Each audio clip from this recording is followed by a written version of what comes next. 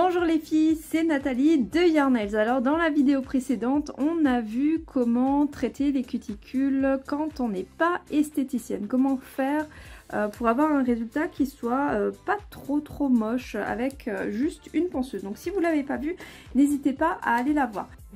Aujourd'hui, je vous parle d'une technique assez innovante, assez cool, assez sympa, je trouve.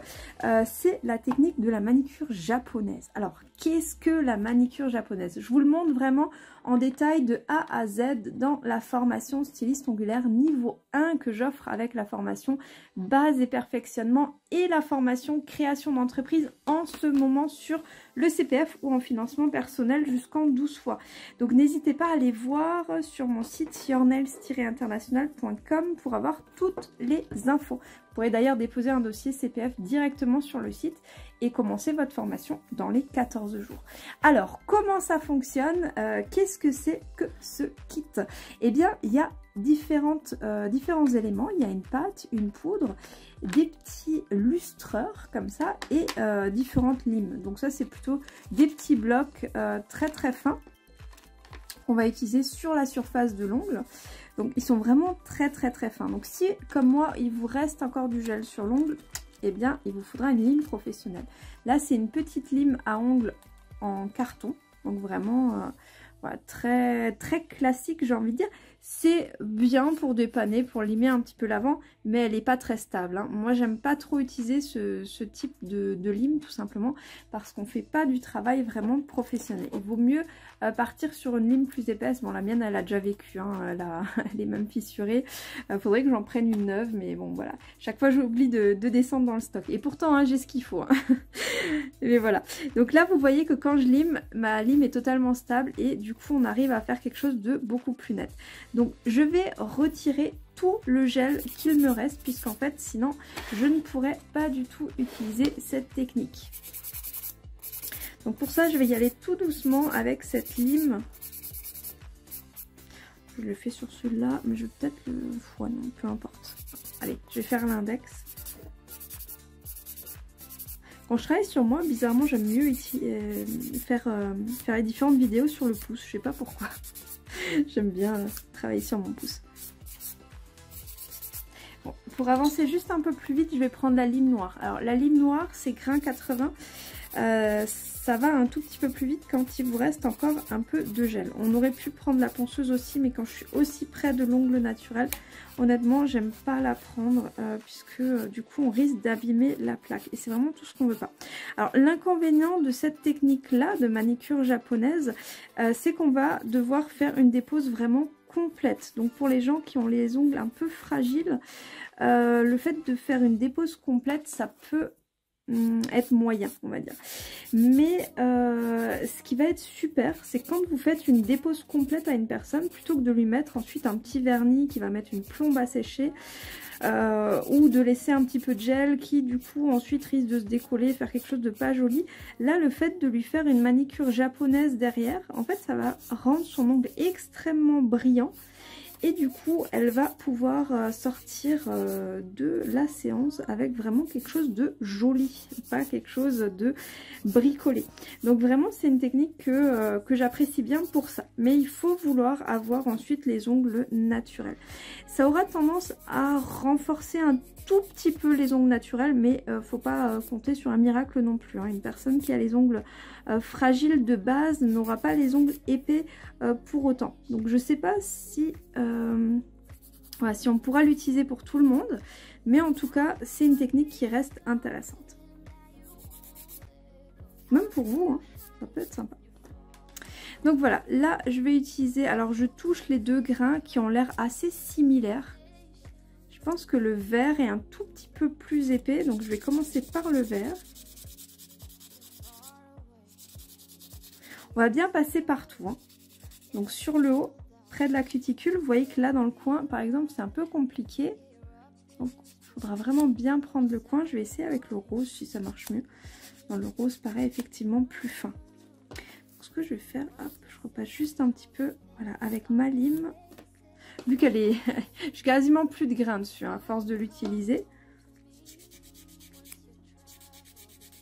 Et on va bien passer comme ça sur toute la surface. ça, cette étape-là, elle est importante pour la suite. Alors, j'ai encore un tout petit peu de gel sur l'avant. Donc je passe vraiment de manière très très légère sur l'avant. Parce qu'en fait, s'il vous reste du gel, ce sera des endroits qui ne brilleront pas. Ce serait quand même dommage. J'aime pas trop faire des déposes complètes, hein, comme je vous l'ai dit. Toujours un peu risqué. Moi, naturellement, j'ai déjà les ongles un peu fins. Donc les déposes, j'aime pas trop ça. Ah, pour celles qui se posent la question également, est-ce qu'on peut faire... Euh, souvent j'entends, euh, mais on peut pas faire les ongles euh, plusieurs fois de suite, sinon les ongles ne respirent pas.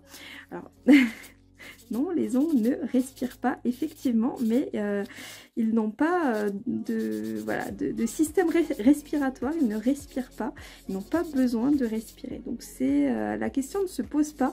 On peut faire pendant 10 ans les ongles de suite sans faire de pause. Euh, ça ne posera aucun souci. donc moi ça fait des années hein, que, je fais mes ongles. Là j'ai fait, fait quelques pauses quand par exemple je me suis fait opérer. Euh, il y a quelques années d'une tumeur cérébrale et quand, euh, j'ai eu euh, mes filles. Voilà, tout simplement. Bon, alors il restera peut-être un tout petit chouille de gel sur l'avant, mais j'ai pas envie d'aller trop loin. Voilà, tout simplement. On passe bien près de la cuticule, ça je vous l'ai dit. Et ensuite, on va utiliser la numéro 1, tout simplement. Alors normalement j'ai encore, voilà, j'ai la peau de chamois également. Et j'ai une petite spatule comme ceci. Alors la spatule qui va servir à la fois pour repousser les cuticules. Qui fonctionne pas mal finalement. Hein. Pour une petite spatule en plastique, elle est pas mal. Voilà, on voit que ma, cuticule est légèrement relevée. Alors bien sûr, hein, il faudrait enlever euh, toutes ces petites peaux... Euh, moche qui traîne autour. Mais voilà, c'est pas l'objectif aujourd'hui. J'ai plein de vidéos où je vous montre. Donc je vais pas perdre trop de temps avec ça. Je vais voilà essayer de, trouver un coin pour voilà ça y est. Alors on va prendre un tout petit peu de pâte. Il n'y a vraiment pas besoin d'en mettre euh, tellement. Hein. Là j'en ai vraiment beaucoup beaucoup beaucoup. La moitié euh, aurait largement suffi. Et je vais prendre la couleur associée. Tout simplement. Et je vais venir frotter la surface de mon ongle avec cette pâte. Alors si vous en mettez partout, c'est normal.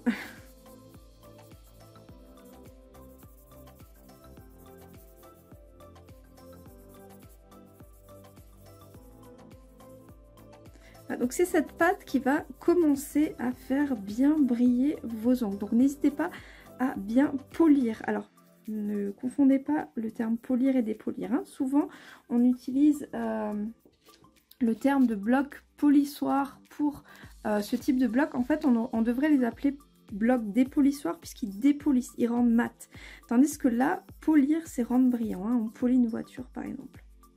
On la dépolit pas, ce serait dommage. Hum, les coins, là, c'est toujours le, petit endroit le plus problématique. On, a souvent du mal à aller dans ces coins-là. ça peut être le, le, la chose un petit peu, euh, voilà, un petit peu embêtant. Mais vous voyez déjà cette brillance qui se crée, qui est déjà très très sympa. Ensuite, on a la poudre. De la même manière, on va pouvoir, je nettoie juste mon embout, on va pouvoir en prendre un tout petit peu. Alors soit on en prend comme ça, soit on prend directement avec le polissoir. Ah, là on en a pas mal dessus, j'en ai même un peu trop. Et on va venir continuer à polir. Donc ça c'est de la poudre de perles qui va venir maintenir la brillance et encore renforcer cette brillance.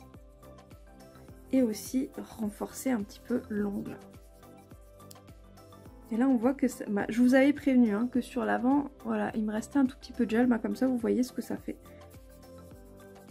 Tout ce qui brille, là, c'est mon ongle naturel. Et tout ce qui brille pas, là devant, eh bien, c'est le petit reste de gel que j'avais encore.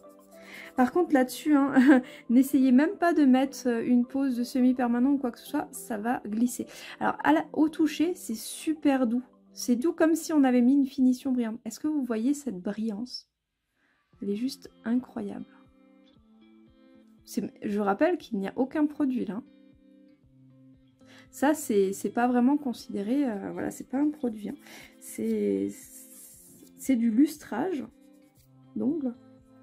J'aurais rêvé quand j'étais dans, mes premières années d'esthétique, pour mon BTS esthétique cosmétique, souvent en fait je me, je me limais un peu les ongles et j'aimais bien passer une petite brosse lustreuse comme ça qui rendait l'ongle relativement brillant. Mais jamais ça l'aurait rendu aussi brillant. J'aurais rêvé d'avoir ce produit. Ça n'existait pas à l'époque je pense.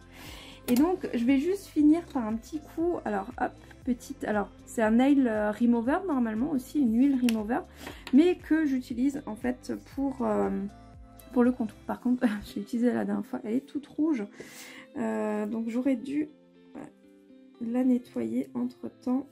Bon, ce sera pas du 100%, et voilà, ça va. Et en fait, j'aime bien l'utiliser juste pour passer en contour, pour avoir quelque chose de plus net. Ça aussi, hein, quand vous faites des photos, pour mettre en avant votre travail, pensez toujours comme ça à passer sur la cuticule. Sans forcément passer sur l'ongle. Hein. Mais voilà, vous voyez que le résultat tout de suite, il est beaucoup, beaucoup plus net.